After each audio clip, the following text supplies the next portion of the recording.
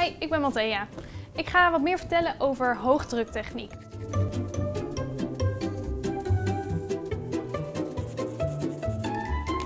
In de tentoonstelling hangen wat werken van Julie de Graag en dat zijn houtsneden op papier.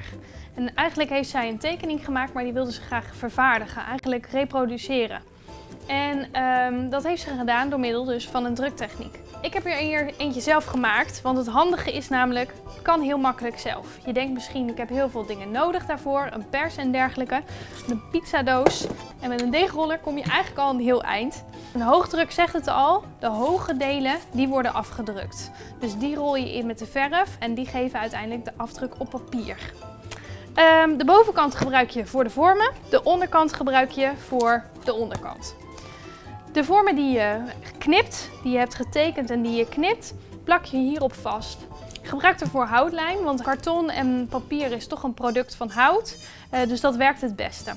Als je het opplakt, kan je ook wat meer structuur zien te vinden. Uh, door bijvoorbeeld de bovenkant er een beetje af te halen, um, krijg je het ribbelkarton.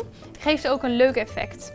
Je kan kiezen voor wat meer abstracte vormen, dus bijvoorbeeld een cirkel en een rechthoek.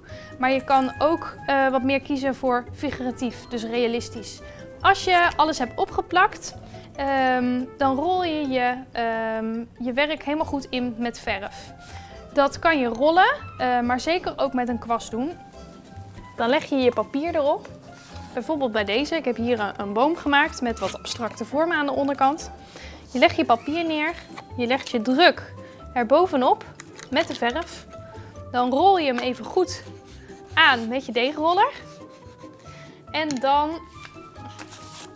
drukt hij hem af en dan komt dat er ongeveer op deze manier uit te zien. Je kan zelf natuurlijk helemaal verzinnen wat voor vormen je gebruikt. Maar het fijne hiervan is dat je hem heel vaak weer kan hergebruiken met andere kleuren verf. En dan heb je, uh, kan je je eigen tekening vervaardigen en uh, vaker maken. Nu jij, heel veel succes!